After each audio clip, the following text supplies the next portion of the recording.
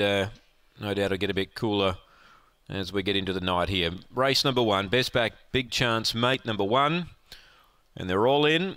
We are set for the first here at Gawler. Welcome, everybody. Hopefully, you can find a winner or two. They're set, ready, racing. Big chance, mate. Stepped out well. Will lead them here. Finnis Eagles about a half away. Moving up three deep, swinging forts, making a run. Then the rail, Long Gully Axel. Midfield beyond design, and Shantui's Ember is last. But the leader is Big Chance, mate. There's only one danger. That's swinging forts.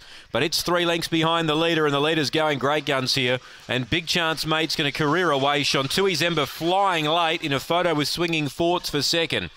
Uh, but the leader has won easily, big chance mate. Fourth placing was Finnis Eagle, who was up there early. Long Gully Axel finished fifth, and Beyond Design was the last to complete the course in the first at Gawler.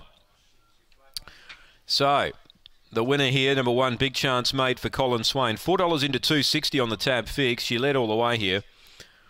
Challenged early, but too strong over the concluding stages. Photo of the minors, Shantui's Ember's got up on the rail and Swinging Forts is on its outside. There's not a great deal in that. And the judge will pore over the image there.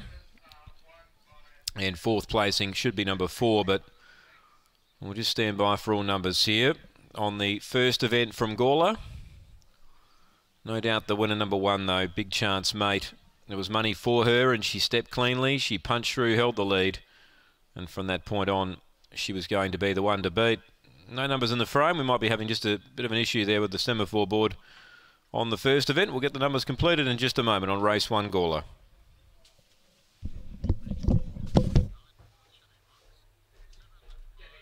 Dead heat.